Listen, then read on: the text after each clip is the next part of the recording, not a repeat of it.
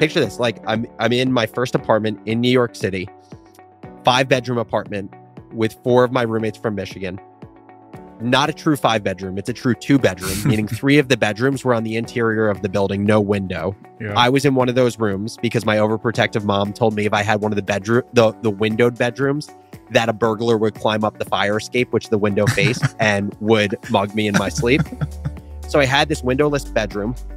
I would get up at 5:15 every morning to go work out at Morgan Stanley, would get to the trading desk at 6:30, would work from 6:30 to 7:30 at night, would get home, call like around 8 o'clock, and would spend the rest of the day on morning brew. So I was definitely burnt out. I also had these really mixed feelings where I was like, this is strange. I'm loving what I'm spending my time doing between 8 o'clock and 11:30, way more than what I'm doing during the day. And so ultimately, you know, it was call it eight months of every day leaving work, calling my mom, being like, I don't know what to do. I'm gonna have to make a decision between Morning Brew and Morgan Stanley at some point. Hello, everyone. My name is Chris Powers, and I want to thank you so much for joining me today on the Fort Podcast. This show is an open ended discussion and journey covering real estate, business, entrepreneurship, and investing. I would love to hear from you by tweeting me at Fort Worth Chris on Twitter.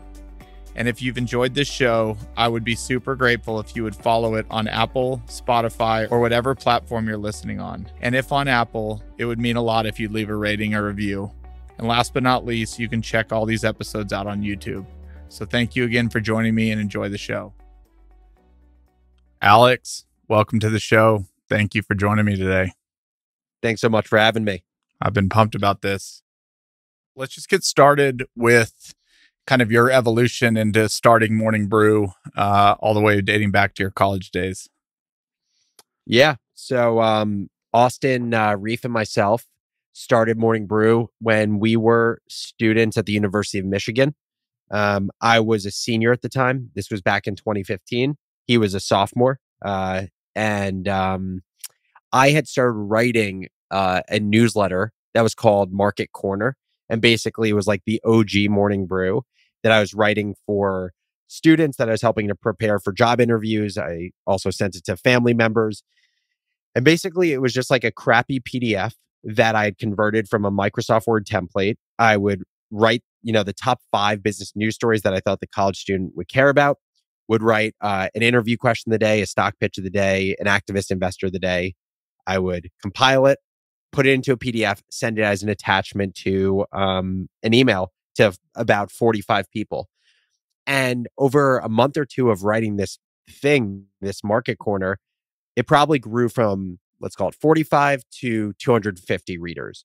And while that wasn't a very large absolute number, uh, it was a big deal because it was impossible to sign up for this newsletter. If you wanted to sign up for Market Corner, you had to hit me up and be like, hey, heard about your business roundup. Can you add me to your list serve? And I would have to manually put in your email address. There was no website. And so that told me there was appetite. I was like, I want to take this a little bit more seriously. Sent out an email to my 250 subscribers saying, Hey, I'm looking to make this a little bit more legit. Does anyone want to help out? Austin Rief, who was a reader at the time, reached out to me and was like, I have ideas for how to make this better. Let's talk. Austin and I chatted in the business school at Michigan. And, you know, that was the conversation that changed everything. And, you know, the kind of like the TLDR on our conversation was Austin, the way Austin's brain worked was kind of like a first of its kind for me in my experiences with people, meaning like when I was writing Market Corner in the beginning, everyone was patting me on the back saying I was doing a great job. Austin was the complete opposite. He basically tore apart this newsletter when we met in person in a respectful way. Yeah. And I just loved how linear of a thinker he was. He was a very different thinker from me. Uh, I'm not linear uh, in thinking. I am kind of like a divergent thinker. He's a convergent thinker. And um, I real like I found his brain to be awesome. He was an awesome guy. And so we started working together on the brew. And what's funny is we actually started with four co-founders. Um, and we're so lucky in retrospect that the other two just decided they weren't nearly as interested and so they stopped working on it Yeah. because you know now knowing what we know it would have been such a shit show if we basically had four of the exact same person Yep. running the business like it was four people who were like northeast jews from uh, New York and New Jersey and Maryland who had the same background in business. None had like tech, content, any sort of differentiated skill. Uh, like imagine four of the same people running a business like that. It, it would not have worked out. And did they, how quickly did it take them to bow out? Within six months. Yeah. yeah. One person, it took uh, two months. The other person, it took six months. And the person who took six months, basically they had to decide did they want to keep working on the brew or did they want to go work in finance?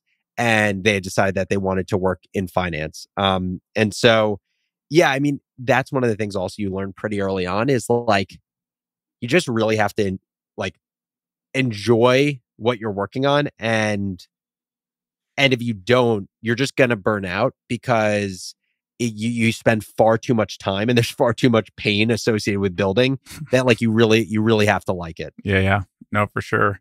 Uh, back to that conversation with Austin, and I've talked to Austin before, but uh, we didn't talk about this. Do you remember any of the highlights of that conversation? Like what ideas he had that that kind of struck a nerve with you?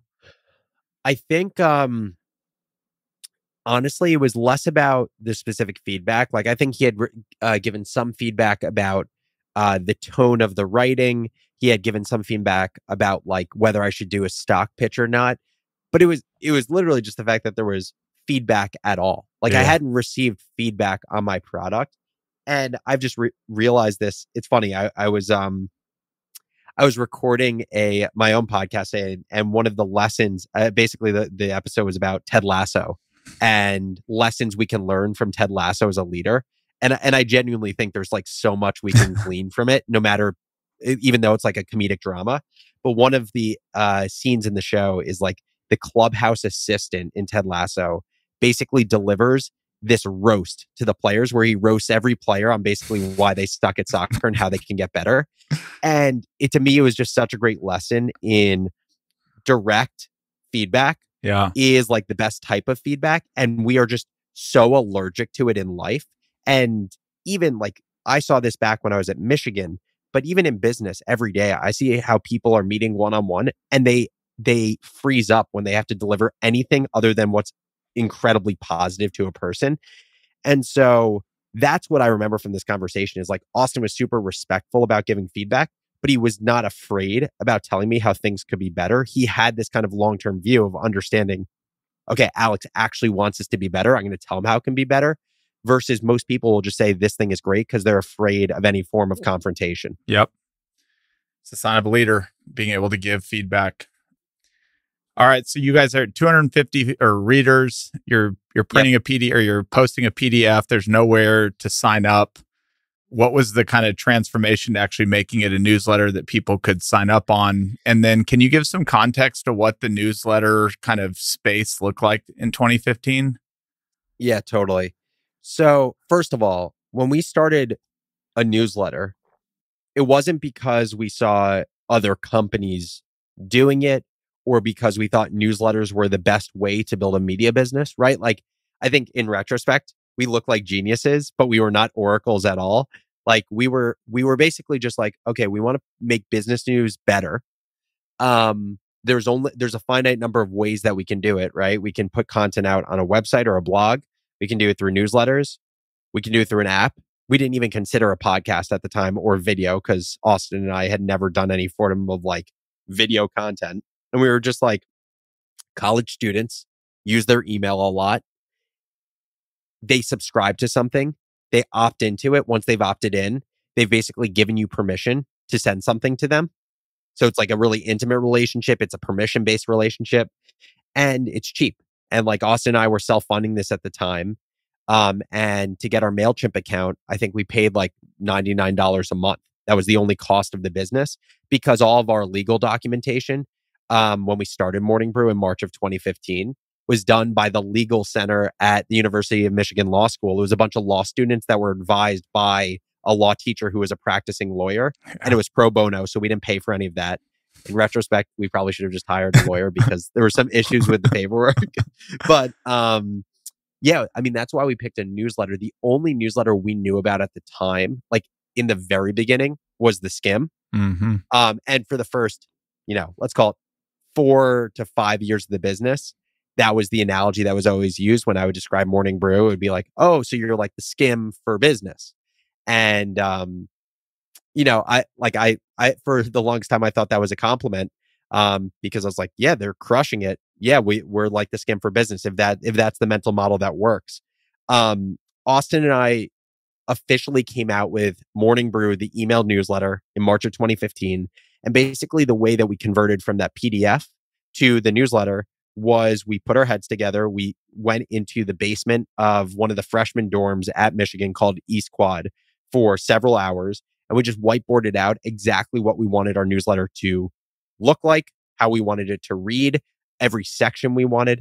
And the crazy thing is, is like, it hasn't changed all that much. Like, I mean, the content is so much better because we have a great editorial team, but I would say like 80% of it is the same uh, in terms of like the actual structure. And we ended up hiring um, a designer who was a double major between the business school at Michigan and the art school.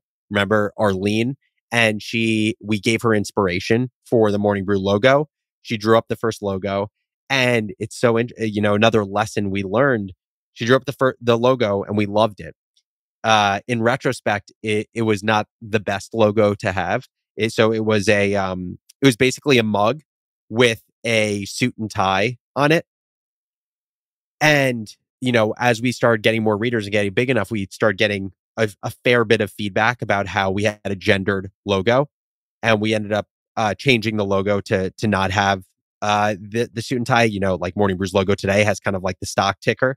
Um, but that was just another learning, I think, in just like having awareness outside of ourselves. Like we we were not aware of this because we didn't realize like the the message it was giving off or that you know that people would associate it one way but it makes so much sense and to be totally honest with you like it it just speaks to unfortunately how gendered financial services and business have traditionally been because as we went through the like the exercise of changing our logo a, a few months later from the mug with the suit and tie to something else you start thinking about like what symbols in business what symbols you associate with business briefcase associated with a man typically.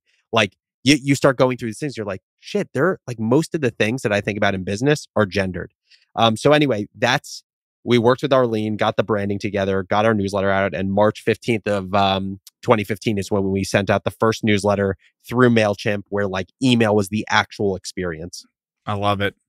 And would y'all just wake up every morning or how, what was the process for putting in that day's thing? You would just skim all the newspapers, find, agree on kind of five articles, and then the other, the stock tip, the activists of the day, and then just post yeah. it, or uh, how, what so, was the process?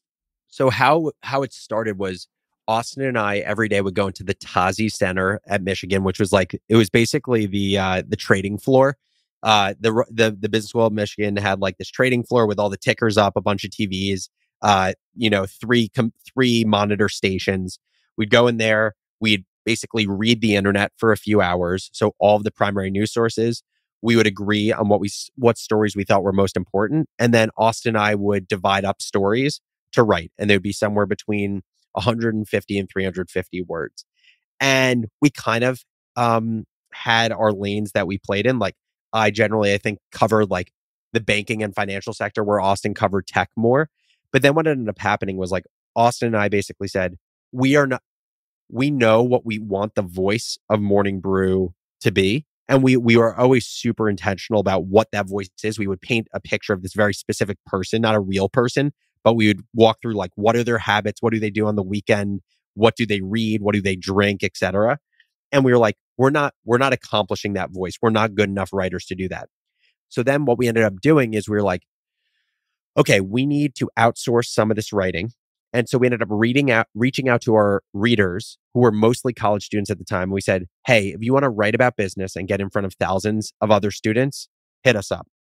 And so we ended up getting probably six to eight college students from different schools, mostly in the Big Ten, because that's like how things spread off of Michigan's campus.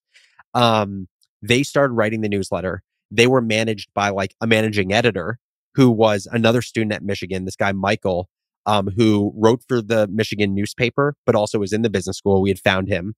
He basically managed the schedule of these college students. he would do the edit, like the fact checking and the grammatical edit on their content. And then there was one last layer, right? So we had the selection of story process, the writing of story process, the editing of story process. The last thing was the voice. We didn't have anyone to like get the right voice. And so we literally went and had to find a voice editor on Morning Brew's camp uh, or on uh, Michigan's campus. And so we found this guy Grant, who was in the business program at Michigan, but he also was in the improv troupe at Michigan. So like we, it was this guy who was a unicorn, basically super quick witted uh, and clever, but also knew about business. And so we hired or we brought Grant on as a voice editor. Couldn't pay him. He was given, you know, some equity in the in the early days, and he would literally edit all of the stories for voice. And um, you know, to this day, in my email, I still have his original voice exercise that he applied to uh, Morning Brew with, and I'll, I'll, you know, I'll never get rid of that. I love it. Uh, I'm going to ask you a question later on about how you actually find those people today, but we'll we'll save it for a second. So yeah, the, the short answer is it's it's not easy, and yeah. there's not a perfect science, but yeah, we'll talk through it. Um, all right, so you started at your senior year. Austin was a sophomore. Uh, obviously, like the end of the year comes, and now it's time to get a job or not. Where did you kind of end the year, and maybe even before the year? And when did you kind of say, "This is what I'm going to do"? Yeah. So going into senior year, one of the reasons that I had the time to write this market corner that turned into something yeah. is because I already had a job to work at Morgan Stanley for after I graduated from Michigan. And just to paint a picture, that was my dream job. Like my whole life growing up, being a trader, a, a mortgage-backed security trader, was my dream job. um, my dad traded mortgages for Citigroup for 20 years. Uh, my mom was on the sales and trading desk at Nomura. Uh, she ran the sale, the repo sales desk, and my grandpa ran fixed income at Prudential. So like, like the most ridiculous thing. Like fixed income was in my blood. Yeah, eh, which is like the most embarrassing thing to say.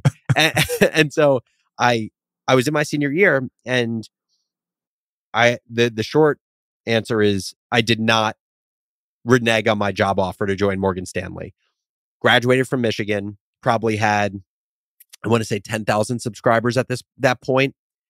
Moved to New York, start working at Morgan Stanley on the agency mortgage trading desk, doing Morning Brew on the side. At that point in time, I wasn't allowed to write it anymore for compliance reasons. Morgan Stanley did not let me write the newsletter, touch the editorial because they were worried that I was going to do insider trading through our newsletter. Um, and so w- that's why we had to have the system in place for these college students to be able to do it. Um, I worked at Morgan Stanley from August of 2015 to September of 2016. Austin was still a student. Um, and basically, while I was at Morgan Stanley, it was a I'd say it was it was like a emotionally difficult time for me for a few reasons. One is because I wasn't liking my job in trading as much as I kind of like played in my head this this fantasy of like I'm going to be the best trader in the world. I'm going to love this. I did not love it. Uh, I also really did not enjoy my first boss. Um, they were not a good mentor or teacher at all. Um, and at the same time, you know, I was just working a shit ton. Like I would wake up, picture this, like I'm I'm in my first apartment in New York City, five bedroom apartment, uh, with four of my roommates from Michigan. Not a true five bedroom, it's a true two bedroom, meaning three of the bedrooms were on the interior of the building, no window. Yeah. I was in one of those rooms because my overprotective mom told me if I had one of the bedroom the the windowed bedrooms, that a burglar would climb up the fire escape, which the window faced, and would mug me in my sleep. So I had this windowless bedroom. I would get up at 5 uh, 15 every morning to go work out at Morgan Stanley, would get to the trading desk at 6:30, would work from 6:30 to 7:30 at night, would get home, call like around eight o'clock, and would spend the rest of the day on morning brew. So I was definitely burnt out. I also had these really mixed feelings where I was like, this is strange. I'm loving what I'm spending my time doing between eight o'clock and 11:30, way more than what I'm doing during the day and um and so ultimately you know it was call it eight months of every day leaving work calling my mom being like i don't know what to do i'm going to have to make a decision between morning brew and morgan stanley at some point. And September of 2016, I left my job. And, and what preceded that was a few things. One was Austin coming to New York. And Austin was grad. Remember, he's two years younger than me. So he was graduating in 2017. In late 2016, he had to make the decision of if he was going to return to his a place where he had his internship in investment banking and he received a full time offer. He had to make that decision. We met up in New York City um, at a, a bar, like an old bar on Irving Place. And him and I basically decided that we were going to go full time on this thing together, meaning I was going to leave my job at Morgan Stanley. He was not going to go into investment banking. And, you know, I, I would say this like, sh- sure, I took a risk leaving my job in finance. Uh, I would say he took an even bigger risk, meaning he didn't even go to a job and he probably would have made 150K in his first year in banking and he turned that down. Um, but then the other part of this is like how I thought about making the decision to go full time. And basically, there was a few ways I thought about it. I make it sound very obvious and clean today, but it was not this clean. Like it was a lot of me like soul searching for eight months. One thing was like, what's the worst case scenario? I, I constantly asked myself that. And basically, I said, the worst case scenario is I go, I leave Morgan Stanley, I work on Morning Brew full time, and it fails in the next six months. And if it fails, then what? And I basically went through all these layers of then what's. I said, you know, then potentially I've picked up a new toolkit where assuming I haven't burned every bridge at Morgan Stanley, I go back and I have some interesting new skills to be able to be a better trader. Maybe my ability to measure risk is better because I ran a business. I was like, okay, but let's say I'm wrong and I burned every bridge. Then maybe I can go start another business or join another startup because I've built a network in the New York City startup scene. I was like, okay, so let's say I'm wrong about that. Uh, maybe it's a good business school story to go back to business school, started a business, go to business school, makes sense. I was like, okay, let's say I'm wrong about that. And every business school application is someone who started a company. I basically got four layers deep in kind of these then what scenarios. And by the end of it, I was like, if I don't have any of these options open, it really isn't because like Morning Brew failed. It's because I didn't keep my options open. I wasn't well networked. I didn't build relationships over this time. It has nothing to do with the actual business and more how I used my time. And so that made the decision partly clear for me. Then I said to myself, what would I regret more?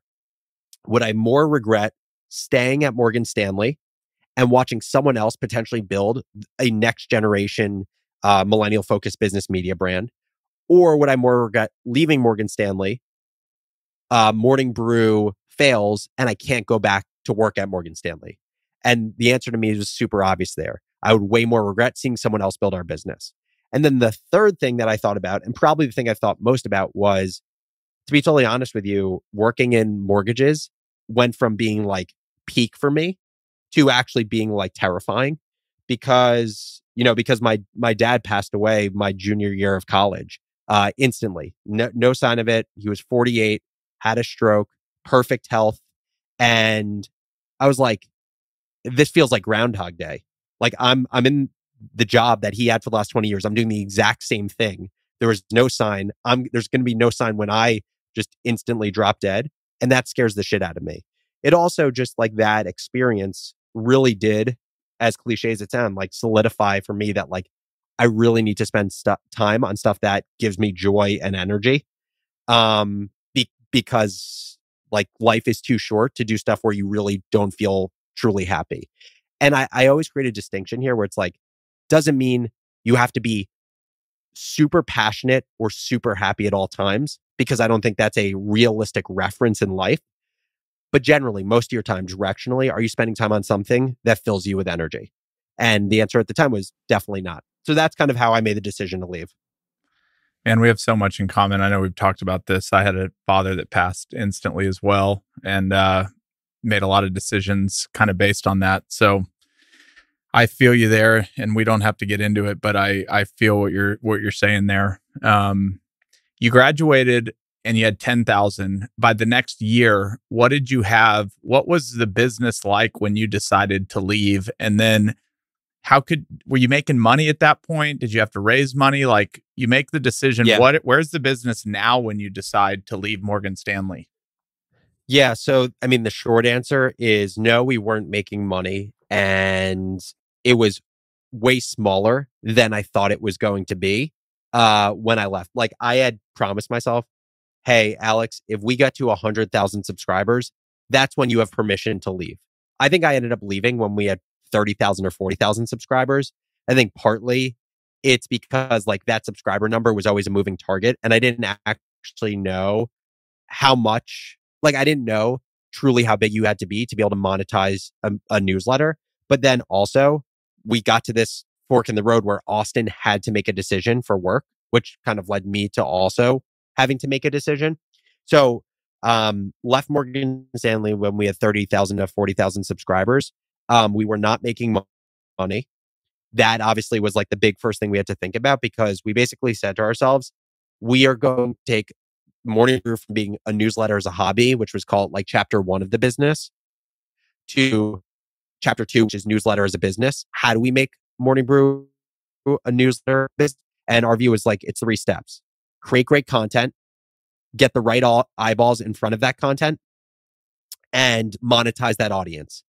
And, and so the number one thing was how are we going to create great content? Well, we can't do it with part time college students.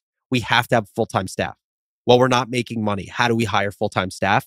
And that's when we basically said we have to go and raise money. We had never raised money before.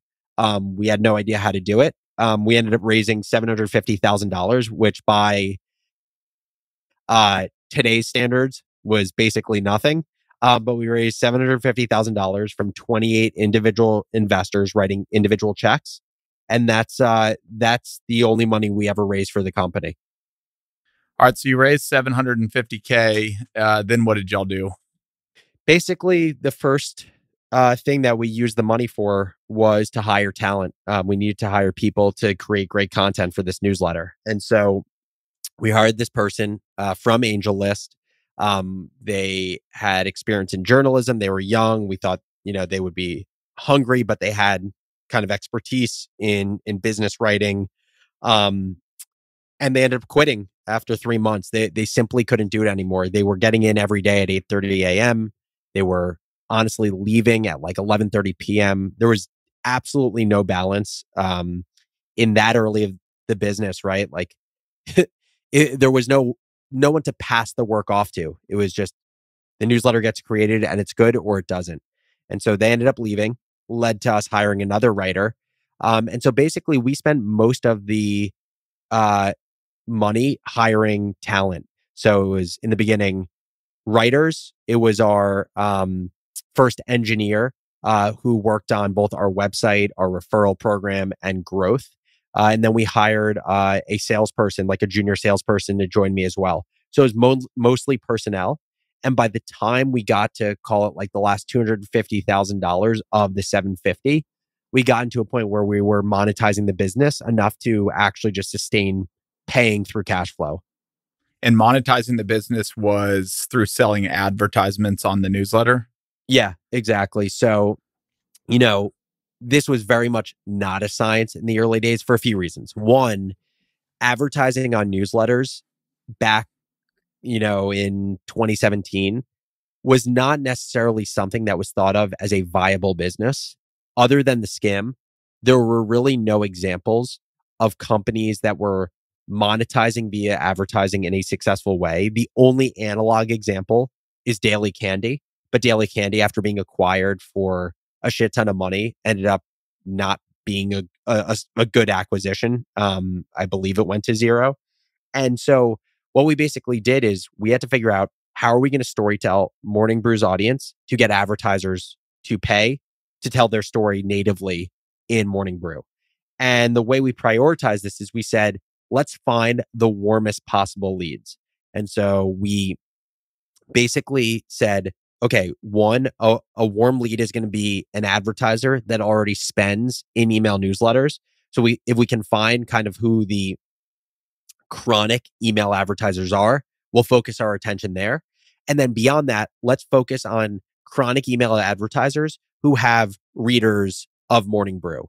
And so we would literally in the early days go through our email list and see who were people that read Morning Brew from these companies um, so that we knew like there's a good chance they already know what morning brew is. And that's how we focused our attention. a lot of our early advertisers were DTC brands that were performance advertisers. So, meaning they would spend advertising dollars with the expectation of revenue coming out of that. That's different from call it the other big bucket of advertising, which is called brand advertising. So, people who spend on out of home or TV ads, they don't necessarily expect revenue from their advertisements. They expect consumers to have a different perception, a changed perception of their brand. And so our early advertisers were everyone from Allbirds to Casper to Warby. Um, and the reason was they already had experience with email newsletters and they didn't care how well known of a media brand you were. They just cared about getting user acquisition. And if they could do that with Morning Brew, even though Morning Brew had no name, uh, they would keep spending with us as long as the cost to acquire new customers worked well for them. And basically, your ads would, if they clicked on a Casper ad, you could prove to uh, Casper that that sale came from them clicking on an ad that you had. Exactly. And it's not, you know, there's not going to be perfect yeah. attribution uh, because, you know, you'll have people who click on the ad on their, uh, in the beginning of a workday, they'll see Casper there. They don't feel like buying a mattress at 9 a.m. on a Tuesday morning.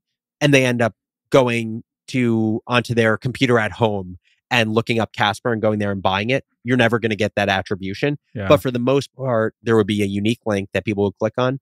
It would lead to Casper's website, and we would get uh, we would get credit for that.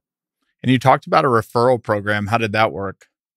Yeah, so it's so interesting because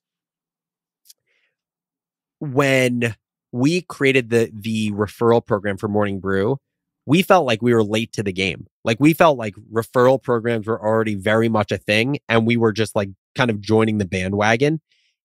Time is an interesting thing because now it's like Morning Brew is constantly credited with like our best in class referral program and it's been really successful for us, but it's to me it was just an interesting learning and when things feel late to you, if you're super in the weeds, they're probably early. Um and so what we did was the reason we even thought about a referral program is because the first way we tried to just like grow Morning Brew was on on Michigan's campus, where Austin and I would go into every class and club on campus. We would do our two minute spiel where we would explain what Morning Brew was, the outcome that it would drive for people, how it was free, so there was no downside, and we would ask people to write down their email addresses on a piece of paper with a pen. And then we'd go and input all those emails in after the class. And then basically step two was like, okay, we've saturated the Michigan market. Let's get the other Alexes and Austins of all other colleges to do the same thing. That's what led from us doing kind of like guerrilla marketing on campus to introducing an ambassador program.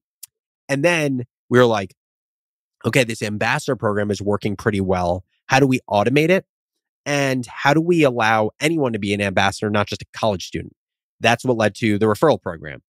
And so when we were researching referral programs, uh, we ended up coming across this article. I think it was on Tim Ferriss's blog about how Harry's Razors had did a really successful launch with their product, where they basically built a landing page. You would put in your email address to be notified of when Harry's Razors came out, and then if you referred people to Harry's Razors, uh, you would either move up the line or you would get uh, certain rewards like a free razor, free uh, shower caddy, etc. And so we were like, oh, we, we have to build this. And so we ended up going on Upwork. We found a developer in Ohio, this guy Connor, and we reached out to him and we are like, hey, can you just rebuild this whole Harry's Razors landing page? But instead of like the woolly mammoth that was their like logo, just, you know, put us on it. Like do the Morning Brew logo. And he was like, Oh, it's funny you asked for that. Five other people in the last four weeks have asked me to do the same exact thing. And so he ended up for $500 just building our whole new database and website with this landing page. And obviously, it's been improved over the years now that we have our own uh, tech team internally. But like the premise is the same. A ref- like a referral program is nothing more than acting as an accelerant for word of mouth marketing our whole thing was our product has to be great. People have to really love it. But then how can we how can we further incentivize people to share the newsletter? Like go from loving the newsletter to telling others that they love the newsletter. And we were like, this referral program is perfect. And so basically what it was was you sign up for Morning Brew, you get a unique referral link. So morningbrew.com slash, and there's uh, a string of numbers and letters. And if you and with any of your friends, family, colleagues share that link, people are taken to the Morning Brew website. It looks the exact same, but on the back end, it says, so, you know, XYZ person was the referrer here. And as you get people to sign up, you earn different rewards. And we were really strategic about the rewards we picked in the sense that we wanted things that were cheap so that the acquisition cost of these referrals wouldn't be too high, but things that someone who makes the choice to refer someone to Morning Brew would really care about.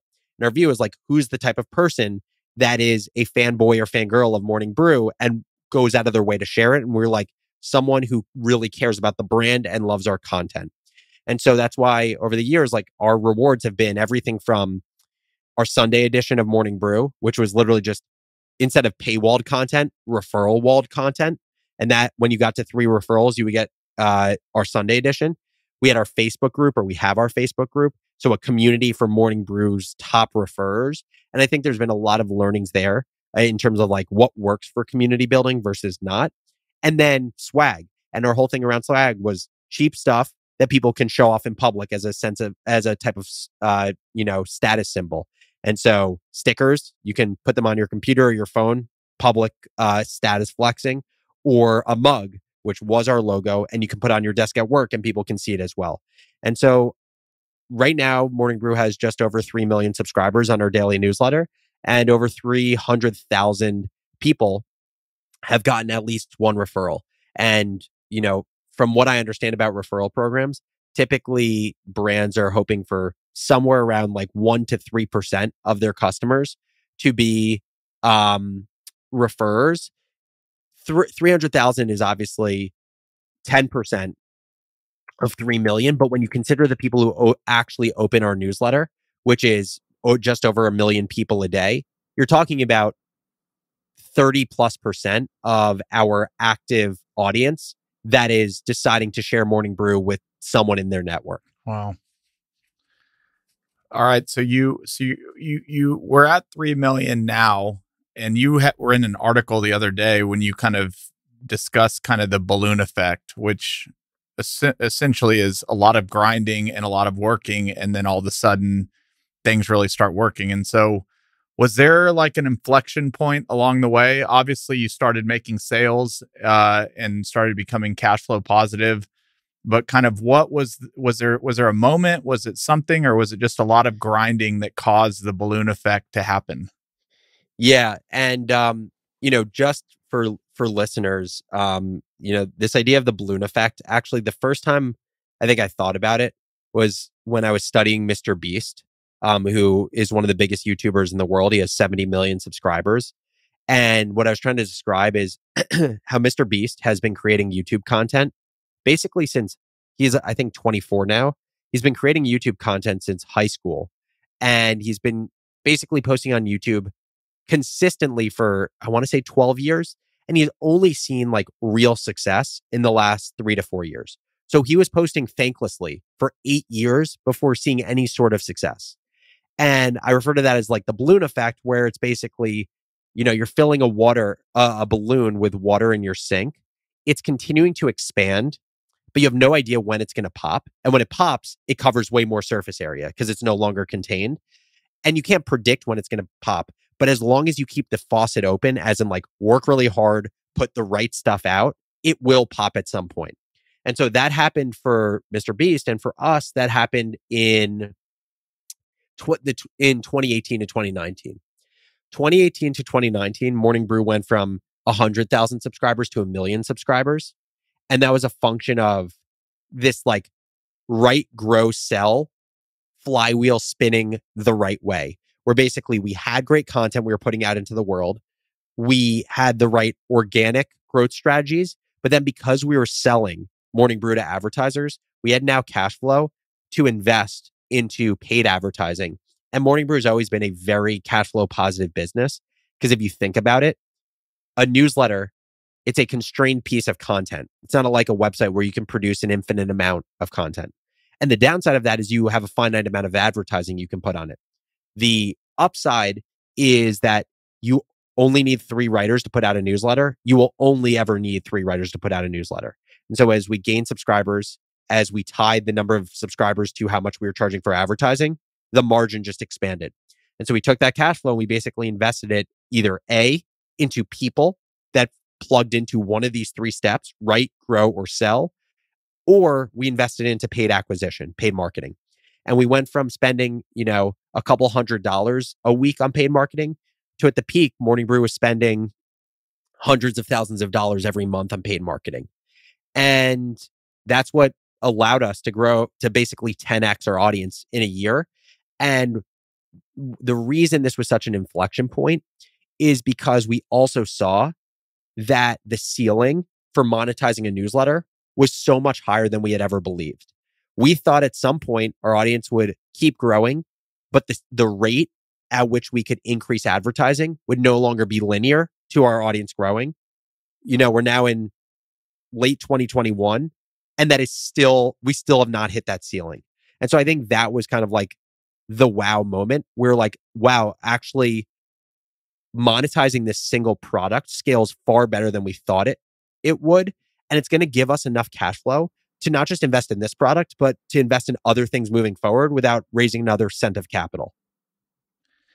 And so the the write grow sell clearly the content has to be great.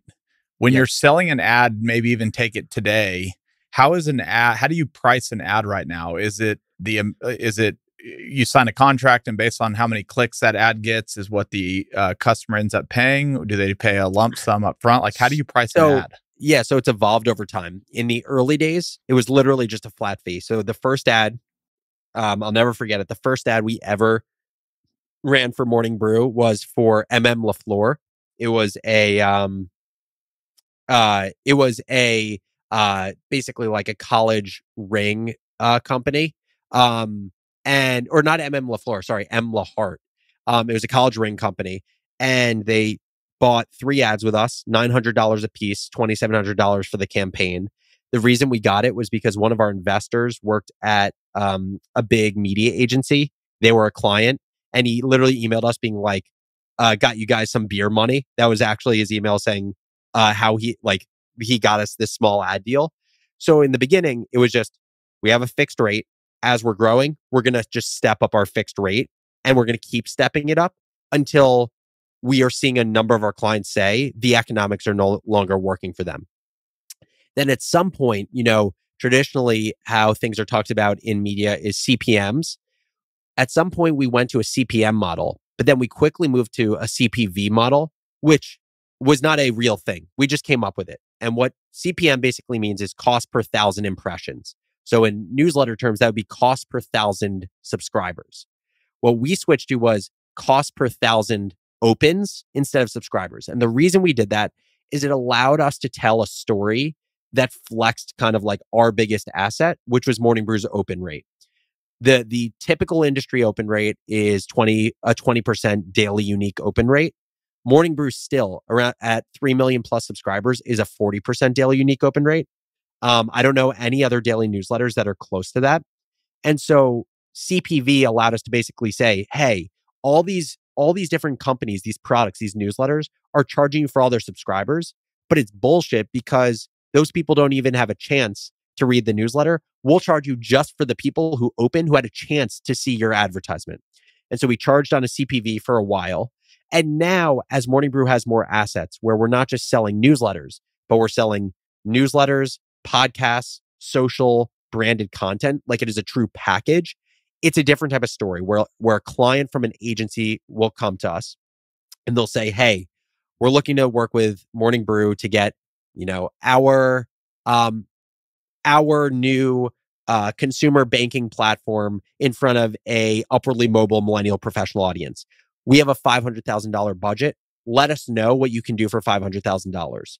And then we will fill out a spreadsheet that basically says all of the different assets that we'll be able to leverage to tell your brand story. So that's typically how it goes now. Wow. All right. Moving on to some big things that kind of happened over the last year. Yep. Y'all sold. We did. Uh congratulations again. Thanks, man. That's awesome. Uh, was there was there a decision internally that it's time to sell? Did you have to raise capital? Did somebody just give you an offer? Kind of how did it begin and then and how were y'all valued in the market? Yeah. So basically what happened was Austin and I, you know, throughout 2018 and 2019, we had received some like indication of interest. And we, what we constantly said was, no, we're not interested. We think this has room to go. No, we're not interested. We think this has room to go. Um, and it's funny that the, the first time we actually ever received any sort of interest was more to be uh, acqui-hired versus acquired. And it was actually by, um, you know, Jon Steinberg at Cheddar. Uh, he had connected with us very early on when he was about to launch Cheddar. And we said, you know, we're, we're, think what you're doing is awesome, but we're interested in doing our own thing. And then we received kind of like interest from different media brands, growth equity investors, et cetera, um, over the years. Gets to, I want to say December of 2019. And basically, one of our close contracts uh, contacts at Insider was like, "Hey,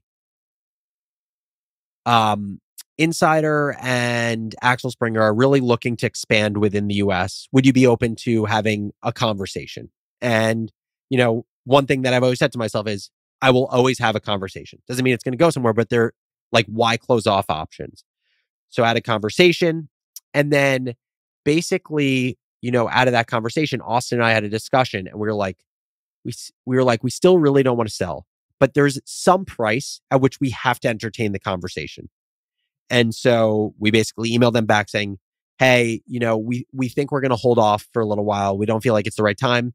Um, it, uh, unless there was some, you know, basically not stupid price, but some crazy price. Um, and they were basically like, well, let's talk about that price. So we ended up having a conversation and uh, with Insider. And just for context, this insider relationship, you know, it started a year and a half or two years prior when Claudius, who was at the time came from Axel Springer. He was working for Axel Springer. Axel Springer's who owns Business Insider, or you know, Insi- Business Insider is branded as Insider today. He had come from Axel Springer to run the consumer subscription um, business for Business Insider. So Business Insider's paid subscription, Prime, he came to run that business. And then he had moved from that position to chief of staff to Henry Blodget, the CEO. And then uh, before leaving Insider, he was COO. We had been introduced to him, and I was actually introduced to him because in the early days of Morning Brew, I had been reaching out to one of the editors at Business Insider to try and syndicate our newsletter on their website. Again, I was just scratching and clawing, trying to find any way to grow our audience. And at some point, this editor was just annoyed by me. He was like, this kid has to stop. He's like peppered me 10 times. So he foisted me on Claudius and got introduced to Claudius. Claudius um, and I met on Stone Street in Manhattan because our WeWork space was in the financial district. Insider's office is in the financial district. So we met up we talked about just media. He talked about the you know history of Axel Springer, and we just kept this ongoing relationship. We would play ping pong from time to time in our different offices, and um and so fast forward now to early 2020, we start having these conversations about potentially doing something, potentially doing a deal, and it looks really interesting. And then COVID happens, and basically, you know, from March of 2020 to let's call it May of 2020, the conversation just dies, partly because everyone's trying to figure out what's going on in the world, partly because like we are advertisers, we're just like hemorrhaging money at this point from advertisers backing out on their ad deal saying we can't spend with you guys. Like within a few weeks, you know, we lost a few dozen advertisers. And then things picked back up in, let's call it June of 2020, and the deal was done in October of 2020. And ultimately, you know, we didn't do this deal because we needed cash for the business. We did the deal for for two reasons. One is because we had really big ambitions for Morning Brew to be the media brand for our generation, not just a newsletter company. Business Insider had started similarly when Henry started the company, um, you know, 14 years ago now, um, where he, it started as a newsletter. Now, Business Insider is a full media brand, uh, you know, with almost a thousand employees doing hundreds of millions of dollars in revenue and we we thought there's an opportunity to learn how to basically scale from the stage we were at to full media brand from a proven entrepreneur who had done that. And that was really exciting to us. And also to work with a partner who strategically could help us grow.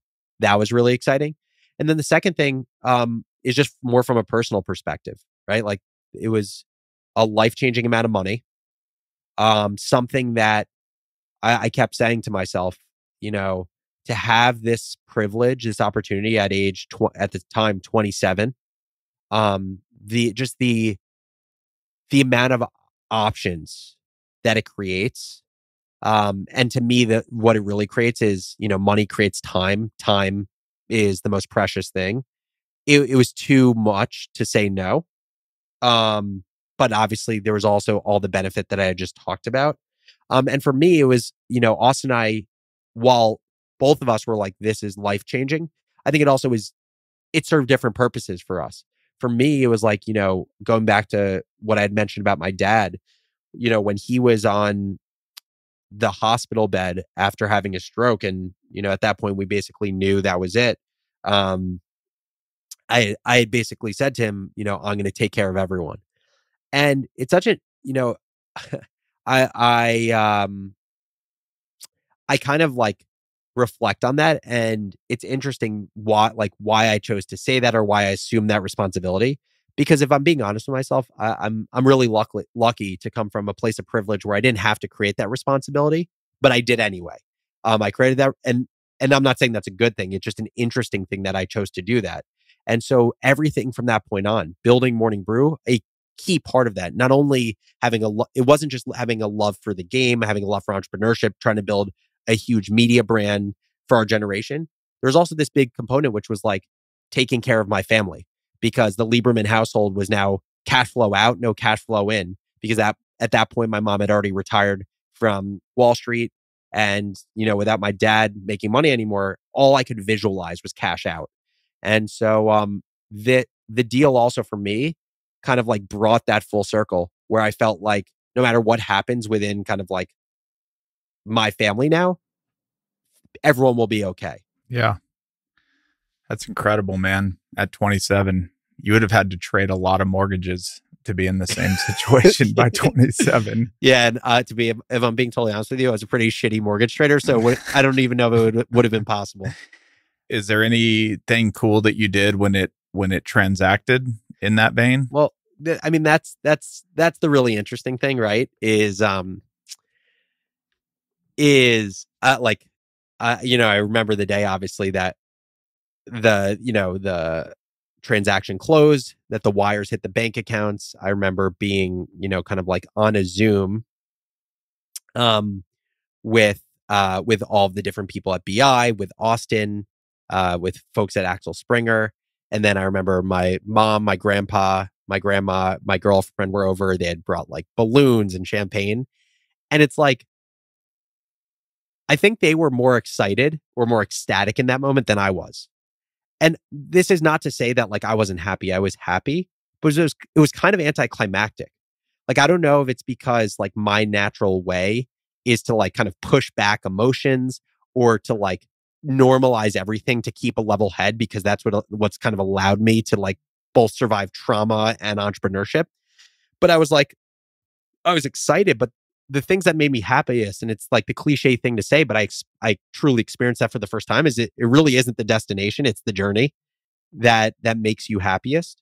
Um, and in terms of you know what I've done with it, like I am uh, I'm as frugal today as I've ever been. Like I we we got a dog after the transaction, but I still would have gotten a dog. Um, and and yeah, I mean, if I'm being honest with you, it's like I I need to kind of teach myself how to spend more. Like I actually think uh, deprivation of cash can be as harming as spending of cash because you know one of the reasons you make money is to enjoy your experiences with the people you care a lot about in life like i think i really need to kind of grow into that but also i realized like that behavior and by the way austin and i are very similar in that regard that behavior actually did us a disservice in business at times because we were so frugal, because we like treated our money like it was the last dollar in business. Yes, it made us very disciplined, But also, there were times where we didn't hire nearly fast enough in the early days at, at a fear of spending too much of our money, where I think actually would have created a way better environment for our team because people wouldn't have been, you know, working down to the bone um, and uh, everyone felt would wouldn't have felt like they were operating at 110% of capacity. Yep. Nope, that's uh you hear that story a lot. I mean, it's your first company. I'm sure if you build another one, you'll probably think differently, especially around hiring and how you spend money, but it sounds like it was a good outcome and y'all did the right things along the way. Yeah, it was um again, it's uh it was a really um it was a really cool moment. Um but it definitely uh it made me one appreciate like these different memories along the journey were like the truly special parts of entrepreneurship. Mm-hmm. Um and it also just made me again realize that um uh like the obviously money is important uh but there is there's a point uh and i i can't remember the study that was done i think they say it was like $75000 in income i think it's different for everyone Mm-hmm. but there's a point at which you make beyond it and it does not change your marginal happiness at Yep. all or that much it can actually um, create more stress. E- exactly and, and you know um I, w- I would just say that i found that to be a very true thing where um past that point it can create stress and also makes you realize that seeking like this this uh notion in the back of a lot of people's brain of money will drive happiness or money is the end goal um ends up ends up being a fool's errand um and where like you realize the most important things are just like having a sense of self having really great people that care about you that you care about around you and sharing experiences with them Yep. All right, to close out the the transaction uh, conversation, eh, and if you can share, uh, maybe at a high level, how how is a newsletter valued? Is it valued on users? Is it just a multiple of cash flow? Is it all of the above? Yeah.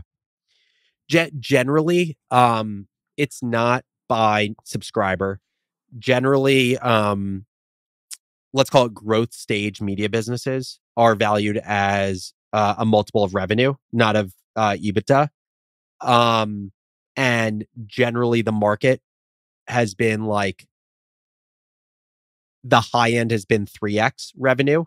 Um the the low end has been you know of your slower growth you know one and a half to two x. Um and i haven't really seen anything outside of that range unless it's a or a media business that's deriving its cash flows not from advertising like subscribe you know obviously like any sort of diversification you'll get a plus on the multiple number uh, if you have a significant subscription business you'll get serious plus um, and so that that was kind of the proxy that was used is like recent transactions in media um, it was generally thought of on a revenue multiple basis and also based on where you know what we thought revenue was going to be on the business in the following year as well Got it. All right. The the second thing that we uh, share in common, well, maybe not the second. It's we have very uh, a lot in common, but you uh, decided this year after being the CEO of Morning Brew for call it six seven years to make a transition. Um, I did the same into a more founder chairman role. Um, what was kind of the spark that led to that, and kind of how has it played out? It's now been a few months. yeah so the short answer is what led to that is in a lot of ways my co-founder was already doing the job Yep. of what I would say like the next stage of our business CEO required. And and what I mean by that is like in the early days, I would say the job of the CEO was very much to will a product into existence, will a product into acceptance, and will a product into actually being a business. Um, once we got to a certain point, it was the product existed, it was good enough, the market accepted it, and advertisers accepted it. It was now, I would say, more of an operational CEO's role. It was um, how do we scale the business? Um, how do we manage our senior leadership team? How do we get all our whole company rowing in the same direction long term for the next six months, 12 months, 18 months? And what I ended up, you know, kind of realizing, I, I think what I, what I didn't r- truly appreciate was like, we had hit that stage of like kind of operational CEO and Austin, who was the COO for the longest time, was doing the job of the operational CEO. And I was kind of just spending my time on the stuff that I enjoyed spending my time on that I didn't, that I'd spent my time on in the early days, which was like building and new shit. So like spending time with like the new newsletters in our business or the podcast we had launched or our educational product, Morning Brew Accelerator that we launched. Like that's where I was spending my time or like creating my own podcast, Founders Journal. And so in a lot of ways, it was just a changing of the titles to match how we were already spending our time. It's been, I think, four or five months since the change. And the way I would describe it is I think it was actually very hard for me in the beginning. Um, I think it was very hard for me because one, my identity had become so tied with being the CEO of Morning Brew for five years. When I moved out of the role, it was like a piece of my identity had gone away. What am I going to fill this void with? Um, the second was I think there was a feeling of guilt um, or shame. Uh, I I said to myself, "Is this happening because I didn't do a good enough job? Is this happening because I didn't scale with the company fast enough? If I had, would it look more like a Bezos or Elon esque trajectory where the CEO grows with the company every step of the way from building CEO to operational CEO and then even beyond that? And I would say I'm generally in a place where I th- I think I've worked through these feelings. And where I kind of net out is that um rather than rather than feel kind of like a shame or a guilt actually one be super appreciative that there's stuff that I know I like doing more and and own that rather than saying why can't I like that more? Where why can't I be why can't that be kind of like my superpower? Like I would say my superpower is thinking creatively about a solution that doesn't exist and willing it into existence and being the best storyteller of that solution. Like period end of story. Um and so I think one I had to kind of like be okay with the fact that like at least right now at this point in my life my interest I don't have enough interest in kind of the uh, the responsibilities of an operational CEO to do the job really well. And I think that was something that became really hard for me to get to because I constantly was like, am I not good enough? Am I not good enough? Am I am I not good enough? And the second part was becoming like super appreciative that I had a co-founder who honestly so luckily this is his shit. Like that this is what he loves doing. This is the type of brain that he has. And I've talked to a lot of, you know, founders who were CEOs and moved into executive chairman roles where they didn't have that good fortune and they had to go out into the market and basically replace themselves. Whereas I was so lucky to have a partner who could just be slotted into the role. And that is such a lower friction way than things typically have to be done. But, you know, the short answer is I'm incredibly grateful actually that this move has given me time uh, to to kind of work on the things before that I said like or the stuff that I've really kind of found to matter, like better understanding myself, getting a deeper sense of self, etc. Um, but also being a, in a position where um, I can still add value to the business in different ways from the content I create to the connections that I make to being kind of like a sparring partner for my co-founder which in a lot of ways are the things I actually enjoy doing but it just took me a while to truly accept that because to accept that made it originally made me feel like I had to kind of accept defeat of not loving and being good at everything. Yep. Man, you said that uh, better than I could have, but uh, this isn't about me. It's about you. But eh, the description that you gave of a title change, not really a role change, um, you know, same thing for me. Uh, that's what I've told everybody. Uh, my partner, who was COO at the time, became CEO. He was already doing the things. Um, I was burnt out of trying to convince myself that I loved operations and I loved this new part of the business.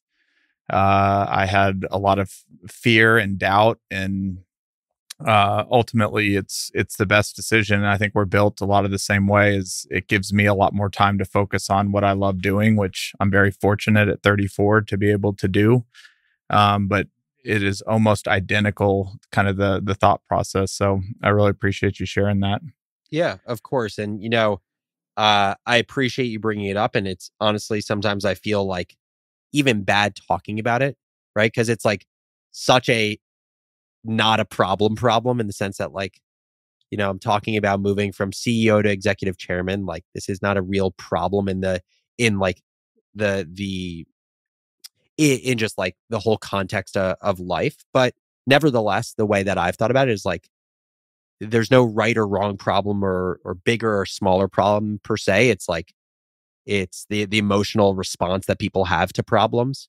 Um you know what, once you're past the point of being able to truly like um provide for your own living and i would say this has just been a, a problem uh for me in the sense that there's been a, a large emotional reaction to going through it um it sounds like you know we we've been kind of similar in that regard yeah and i would just kind of cap it off by just saying it's a very selfless uh, move. You put the business first and what was best for the business and not your own priorities or agenda first. And Morning Brew will be better for it. And um, ultimately, that'll be a good thing for you. Yeah, totally. And I think, uh, you know, the big thing now is, is with there's the part of me that's, uh, that's continuing to dedicate myself to the brew. Uh, like I said, where it's being a, a creator uh, with my podcast, video franchise on YouTube, et cetera, et cetera, being a cheerleader for the business, whether that's conferences, TV appearances, et cetera, and just like helping to be a kind of creative partner to my co founder. But there's also just kind of this new question of like, with some of this time that's been opened up, um, what do I do? And, and I, I, don't know the answer to, to that question. Maybe all I should do is spend time to uh, spend time playing golf so I can actually beat you in golf. But other than that, I don't know the answer yet. And we are going to get that on the calendar. Uh, all right. You've been very generous. I got a couple more questions and then a few personal, and then we'll we'll bring it home. Cool. But you've sold. Uh, you're now uh, under the insider umbrella. Is the goal going forward to go from three million to ten million users, or is the goal to offer you know those 3 million users a lot more products and ways in which they can uh, interact with the business or is it a combination of both yeah it's it's a great question and the way i would answer it is kind of the non-answer answer it depends um if you're talking about our b2b business so morning brew basically has two businesses b2b and b2c b2c helps you just um, be a more well rounded, more informed business professional. B2B is the content in our org that helps you make better decisions in your specific job, function, or industry. Within B2B, the goal is to, to use your exact analogy, not to go from 3 million to 10 million. It's to go from 3 million to 4 million and squeeze as much juice out of the 4 million as possible. With the B2C org, where we've really transitioned from just doing newsletter to newsletter, web, social, audio, video. It is very much a goal of going from 3 million to 10 million. Yep. All right. I know this is, uh, this could be a loaded question. We don't have to make it a huge answer, but, um, I, you know, I follow you. And by the way, your podcast is phenomenal. If anybody has Thank not listened to Founders it. Journal, uh, you have to. You've dove into kind of crypto blockchain, uh, you know, through threads that you've written, it's clear that you're studying it. And the question is, how does crypto and blockchain impact Morning Brew? And I'll give it a little more context. It seems to me like the world is starting to reorganize itself online into kind of these smaller communities that can be trusted. Yeah. The trust in big corporate media giants and institutions is kind of dropping daily. So, like, do you think about crypto and blockchain impacting your business? Um, and and is there a way that Morning Brew participates in it? Yeah. So, is there a way we participate in it? Absolutely. I think both from a content perspective, participating in the conversation around it, but also from a product perspective. Uh, I think there is a place for us to play, um, specifically in the world of NFTs and Morning Brew having or minting uh, an NFT pro- uh, project. Um, the reason I've been so interested in it is honestly because I think it is the most direct connection of community content and commerce that can exist. There is this constant, like, there's been this constant push of community content and commerce to be intertwined, right? So, what I mean by that is back in the day when, like, you know, pre internet, you have a TV show, there is so much friction for, say, like a daytime TV host to sell a product that is a product created by the TV network that the host is on, given that, say, the, the person on TV pitched the product, you'd have to go get out your computer, you'd have to go to the website. How would there even be attribution? Like it, the, the linkage, there was so much friction. Whereas, like, then what happened with, I would say, just like social attribution and like media getting to a certain point, there's so much less friction to turn content brands into communities and also into commerce companies, meaning having a product that you sell to your audience. Why has that become big? Well, one, in the age of Facebook and Instagram, where it's basically pay to play and it costs more than ever to build an audience. If you're a media brand that has a trusted audience that you've acquired and you own now, it creates an incredible, incredible leverage where you have an owned marketing channel and you have the advantage of not having to pay to acquire customers to pay for a product. And so, you know, the example I'd use is like Food 52. Food 52 is like a food media brand. Uh, they were invested in by Chernin. Chernin is also who invested in uh, Barstool and a number of other media brands. Um, most recently, Zen Run, Zed Run, which is the um, the uh, blockchain based horse racing, digital horse racing game. But Food 52 has recipes. They have uh, like uh, drink recipes, etc. It's a website around food content but then, of course, they have a shop on their website, and their shop has curated cookware from other companies, but they also introduced their own brand called 52 that they sell through their website.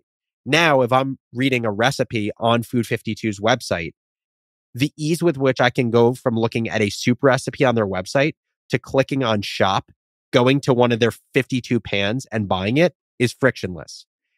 Um, what I think like NFTs and the world of uh kind of web 3 does is it makes that connection even clearer where now it's like I buy I'll just use the example of what um what Chris Cantino um and Jamie Schmidt are doing. They they created a community uh called uh crypto package goods, you know, play on consumer package goods. They minted an NFT project you buy one of their NFT tokens, you get an invite to their community to be a part of that of their community through Telegram. Um, what Web3 effectively does is it's going to just allow community, commerce, and content to all exist at once. And so I'm just fascinated as someone who's like a content junkie and a media junkie.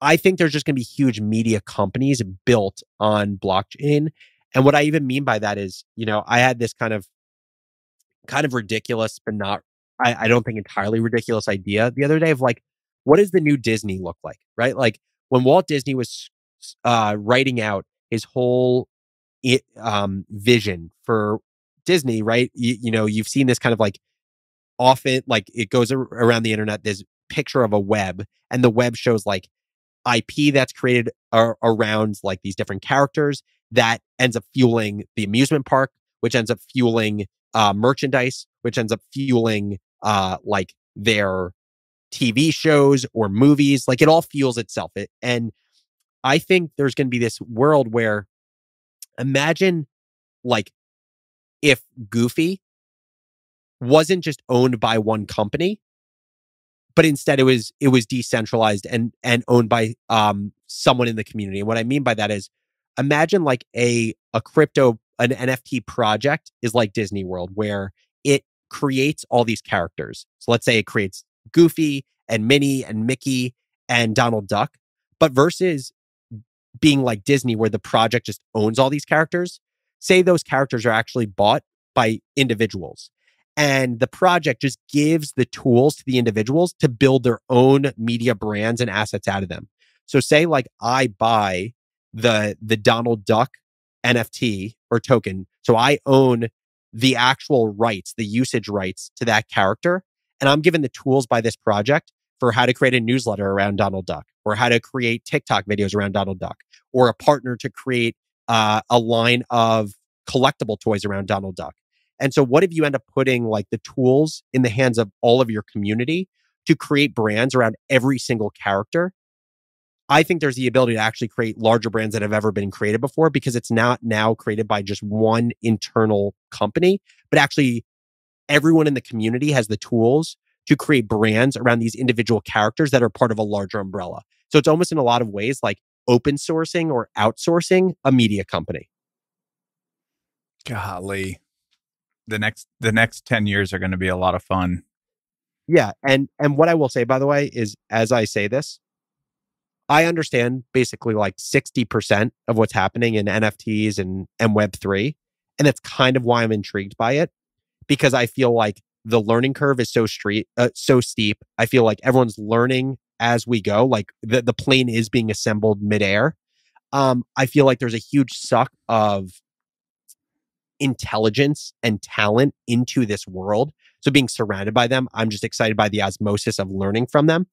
And also part of it, I part of what I enjoy is this puzzle of knowing that like 96% of what's happening in and that's a, such a random number, uh, some high percentage of what's happening in crypto is kind of bullshit or it's opportunistic ways for people to make money. But there's some sliver that is here that is going to lay a foundation for really special things to happen over the next five to 10 years. Yep. Yeah, you got to get through the messy part, see all the failures, and then the, the, the, uh, you know, the golden nuggets continue to shine through it all. Um, exactly. But there's going to be, yeah, some downside. Okay. One more question, then I'm going to let you go kind of back to what I was saying, the, you know, we've just gone through COVID, which is crazy. Um, you know, you see big, there's, you know, there's all these media giants and everybody has their own information and it's hard to know what to trust. And you see companies like New York Times often, you know, redacting things that they yep. published even that morning.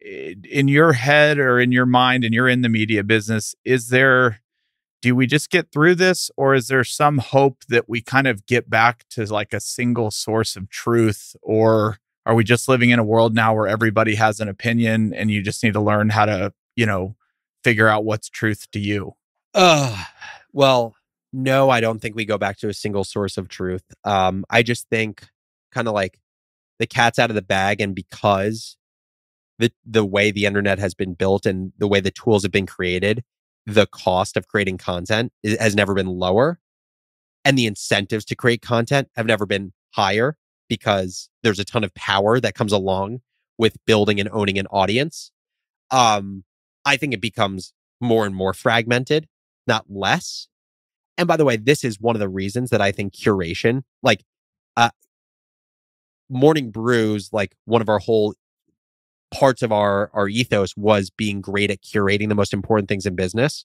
Like i just think it keeps getting more important because it's like as there is more and more content on the internet as it becomes harder and harder to sift through and understand what is true what is real more and more is there the need and as people have less time and more things competing for their attention than ever before more and more is there a need for finding not necessarily like the source that you trust, but like the person that you trust to tell you the sources that you should trust.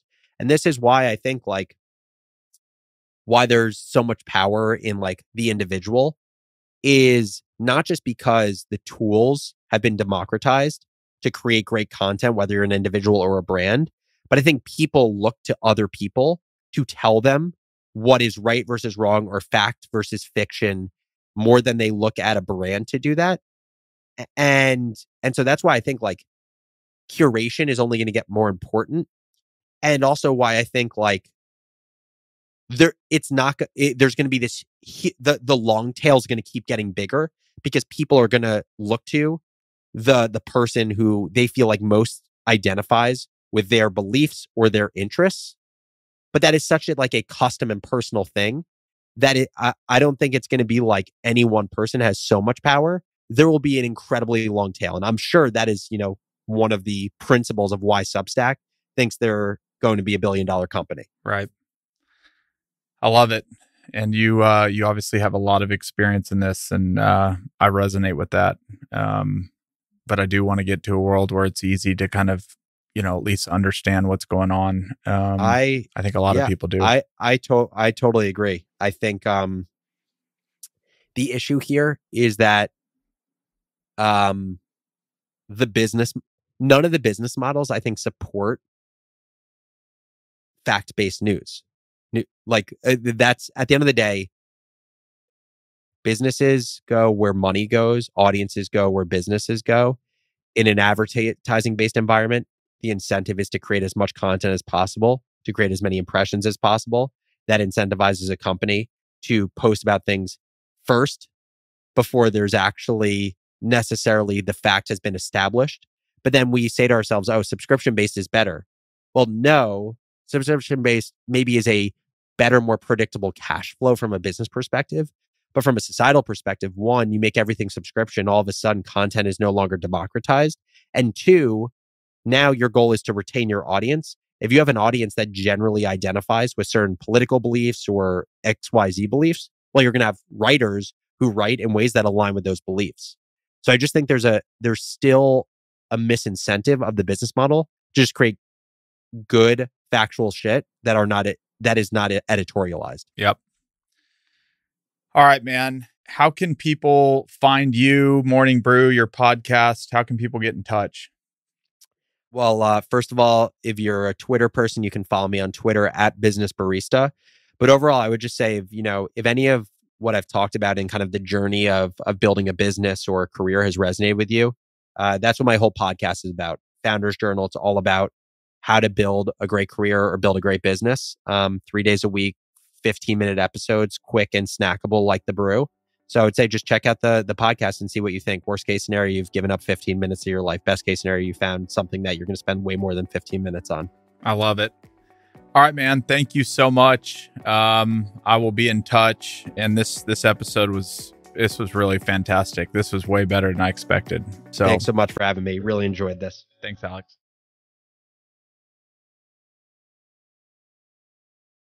Everyone, it's Chris here again. Thank you so much for joining me on this journey. If you enjoyed the show, please follow the show on Apple, Spotify, or subscribe on YouTube. Thanks again, and I'll see you on the next episode. Chris Powers is the founder and chairman of Fort Capital LP. All opinions from Chris and guests of the Fort podcast are solely their own and do not reflect the opinions of Fort Capital LP. This podcast is for informational purposes only and should not be relied upon for real estate or investment decisions. Fort with Chris Powers is produced by Straight Up Podcasts.